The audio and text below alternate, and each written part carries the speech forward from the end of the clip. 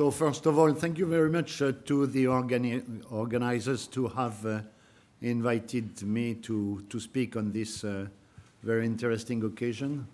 Uh, one caution about my speech, uh, since uh, in 20 minutes we cannot say everything we would like to say, my presentation will be a little bit rough.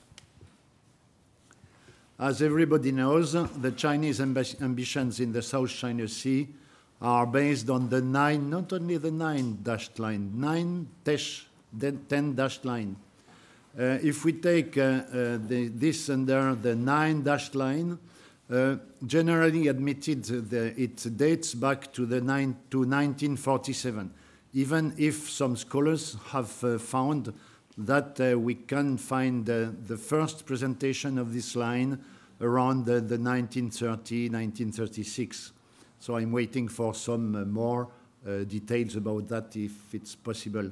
But the first, I know, the, the, the, the point is uh, everybody or a lot of people say because it has been printed by official governmental uh, printing uh, offices, this 1947 dashed line is an official line. It's not because it has not been accompanied by any official claim with uh, this official claim accompanying a map such as this one.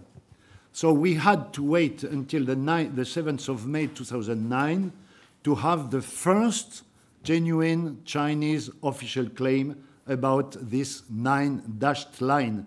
So after the uh, signing of the United Nations Convention on the Law of the Sea. That is an important point. This uh, uh reaction from the Chinese has been generated by these uh, claims uh, in 2009.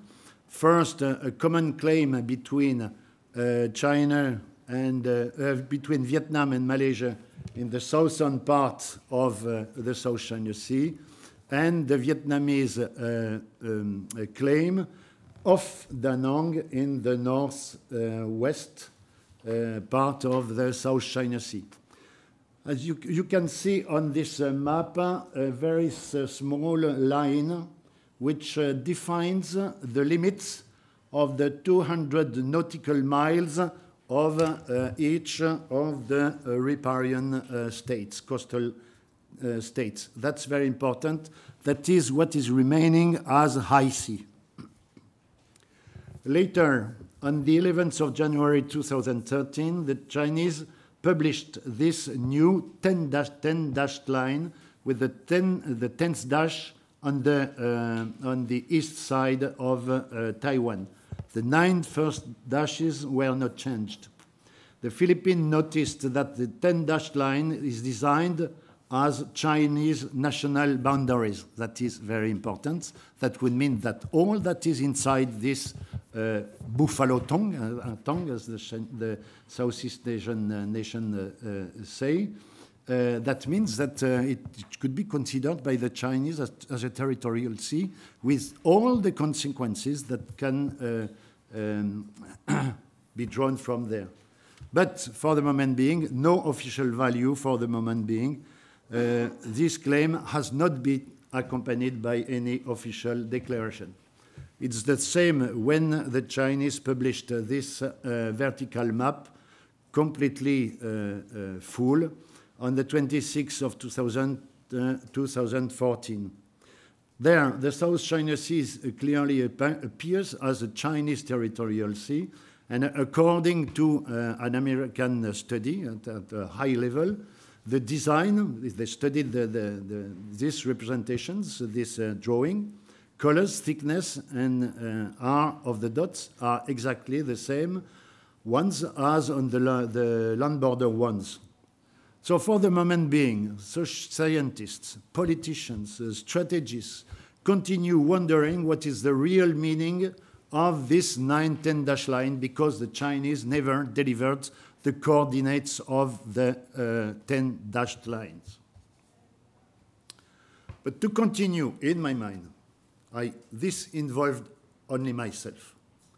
to continue wondering what the nine dashes mean is, in my mind, a huge strategic mistake.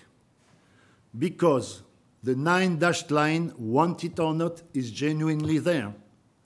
Without or with or without coordinates, we don't care. It is there.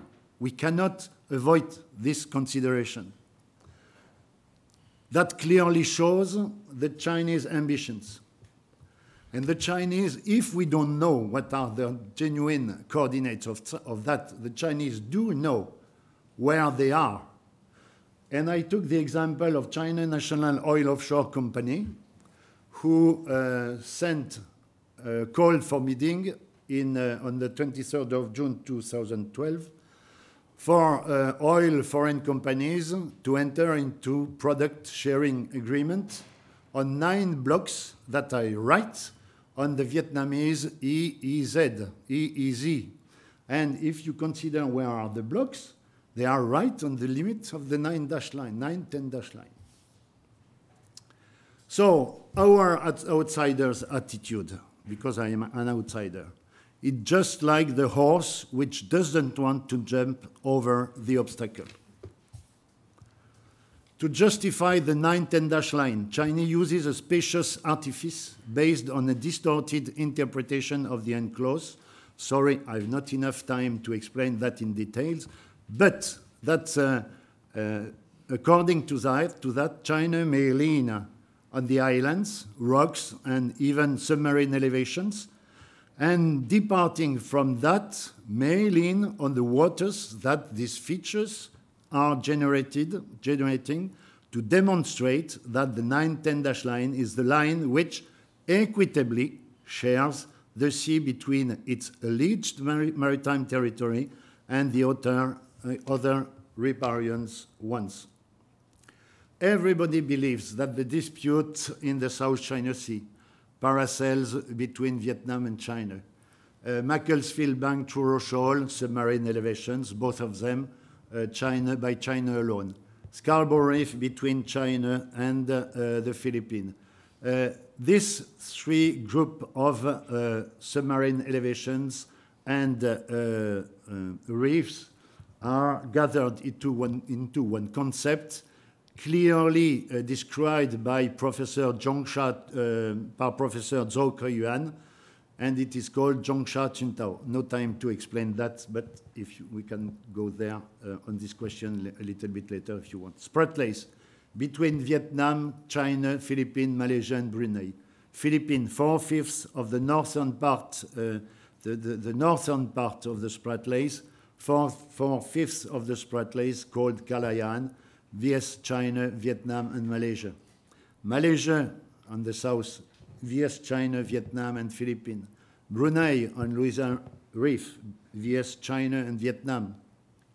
Indonesia, contrarily to a lot of people believe, is not a stakeholder in the territorial dispute, but there is a problem because the nine dashed line is crossing over the Indonesian EEZ. The problem is there. James Shoal and Luconia Shoal, uh, which are uh, under uh, submarine elevation, an exception for Luconia Shoal that I dis discovered recently, that, that uh, could draw one problem in, a, in a short time soon. So everybody believes that the, the, territorial dispute is in the South China Sea are because of what? The existence of polymetallic nodules in the bottom of the sea.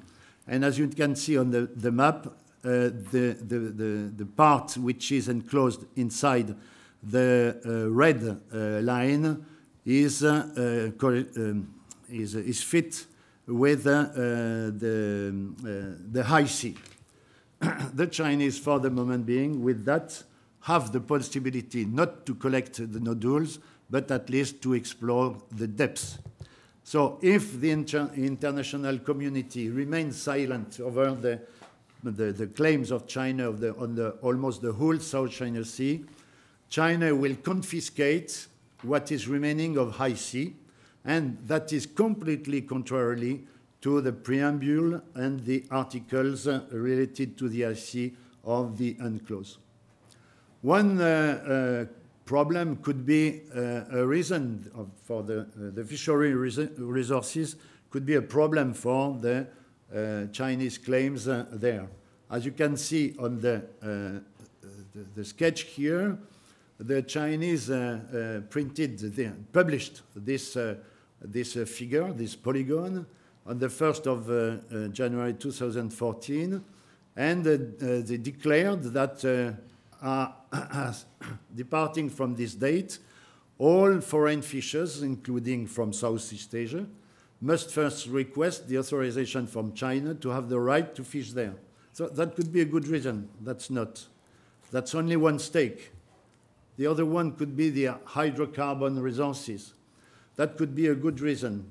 So these are the main hydrocarbon deposits, which are all scattered all along the metamorphologic, metamorphologic uh, continental shelf, shelf around the South China Sea. That could be a good reason because the 910 dash line is crossing all uh, of these uh, deposits, all in the other Southeast Asian states, EEZ. But that's not, uh, that's not the main reason. That's only one, one stake. That could be the navigation and the safety and security. So I don't enter into the detail of, of that, but as you can see, 80% of the Chinese hydrocarbon procurement are crossing this uh, South China Sea. This is a PRC vulnerability, as well as Japan and South Korea. So we can consider that the Chinese would be very happy to be alone to exert the security operations over that uh, area. But that's not the main reason.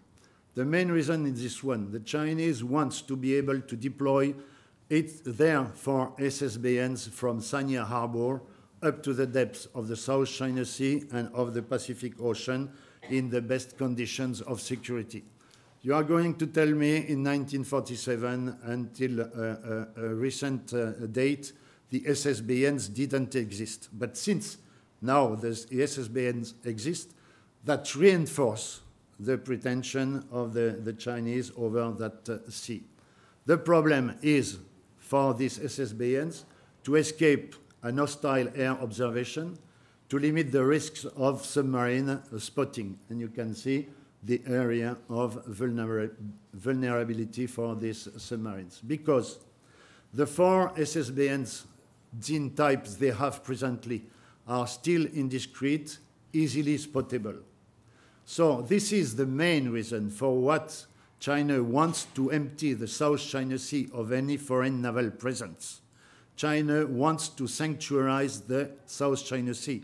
And we come here to what Mr. Fels uh, to told this morning about the possibility of the application of the uh, um, uh, Monroe Doctrine by the Chinese on the South China Sea. But, but, trying to empty the sea of any foreign naval presence, presumed hostile, is not uh, enough. it's necessary to prevent the US and its allies to enter that sea. And there, Mr. Fels, we joined altogether. How China feels threatened by the USA, by the containment of the USA. Reinforcement of the American presence in Japan and South Korea. USA maintaining the military support to Taiwan.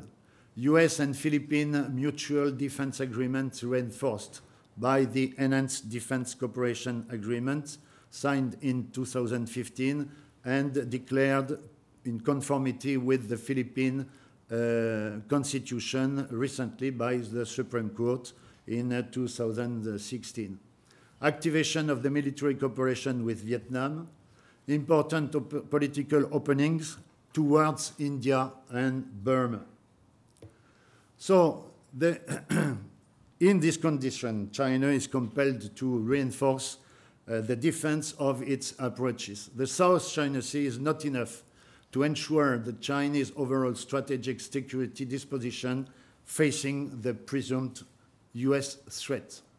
That was why Admiral Liu Huaqing in 1974, uh, Admiral Liu, Liu Huaqing is the reformer of the Chinese Navy. he wanted to change the Chinese Navy from a coastal navy to a high sea uh, uh, navy. So in 1974, he defined two lines of forward defense. One green line of immediate defense, resting on the Ryukyu archipelagos, Taiwan, and the Southeast Asian uh, nations. A blue line, which, as you can see, is resting on the Mariana uh, uh, chain. For that, China intends to implement the A A2AD doctrine with specific means. These are seven uh, nuclear submarines attack and 48 uh, classical uh, submarines, which can be uh, committed in, in a situation against uh, the presumed enemy. The development uh, program of development of aircraft carriers.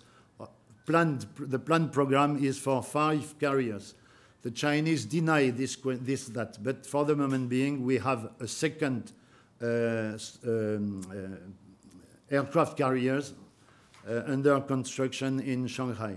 You have, you have here the figures, the, the pictures of the evolution of the Varyag, which has become uh, the Liaoning.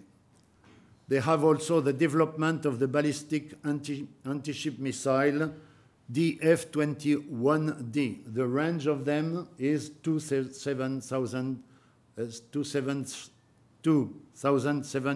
kilometers, sorry. If we take uh, this uh, hypothesis of uh, firing from the coast, we can see they can reach uh, normally, if it works really, some targets inside which have overcrossed uh, this uh, red line. And if you see, uh, if you compare, you can see that this red, red line fit almost with the blue line as defined by General Admiral Liu Huaqing. The principle of uh, work of this uh, is a target designation through the satellite constellation Tianping Yaogan. And uh, once the heads are uh, on uh, their descent uh, phase. The terminal guidance is by an overhead and over-the-horizon targeting system. This is a sketch of uh, uh, bombs arriving on a, an aircraft carrier and the, the, the, planes which, could not, could, which cannot uh, reach the decks anymore. But A2AD has strategy has limits. It is only uh, uh, defensive, and it may be uh, sorry, opposed by the US with the implementation of the air sea battle concept. I don't enter into the detail, we have no time enough. On the Chinese side, A2AD is not enough to reach the strategic goals aimed at the in the Pacific Ocean. First, the global naval expansion, but most of, uh, above all, the being to be able to, uh, being to be able uh, to threat, even reach, CONUS with missiles. If the present uh, Julang 2, the, the range is for the moment being 8,000 kilometers. The first public appearance uh, occurred on May 2009 with uh, six pictures provided by CCTV.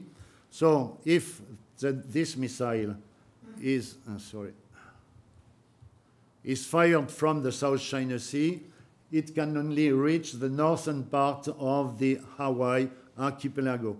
That's the reason why the, the the Chinese uh, submarine Jins, must be able to exit the South China Sea. But in this case, they are uh, prisoners of uh, crossing the uh, the Bashi Channel, which, which is situated uh, in the south of Taiwan and in the north of the Philippine island of uh, Luzon. So the dream for the Chinese is to blow up the Taiwanese bolt because the Taiwanese bolt, as you can see, is uh, uh, locking the Ryukyu archipelagos and the Southeast Asian countries archipelagos. Like this, blowing up the Taiwanese bolt would provide the PLAN with waters entirely Chinese, so as to sail freely either by the south of Taiwan for the SSBNs. That explains why the Chinese, the, the Chinese maneuvers of sanctuarization of the South China Sea, or by the north, and that explains the settlement of an ADIZ, Air Defense and Identification Zone, in the uh, uh, East, uh, East China Sea. The hardening of the dispute over the Senkaku Islands and even the simmering of the Chinese claims over the Ryukyu. That would, uh, blowing up the, the, the, the, the Taiwanese bolt, would allow the Jin submarines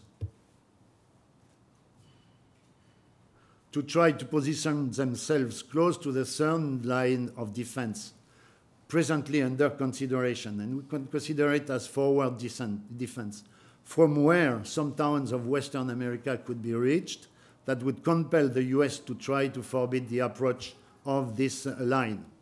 The scheme will be different when the next generation of SSBNs and Julang 3 missiles with three possible, possible versions will be operational.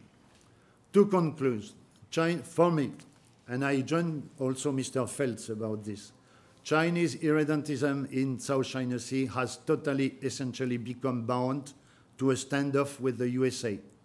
Today, China is not, is not really, are not really the winners, but strong troublemakers because of their inopportune activities in the South China Sea, reclamation of eight features in the Spratlys, armament of the Paracels with anti-aircraft missiles, cruise missiles, and so on.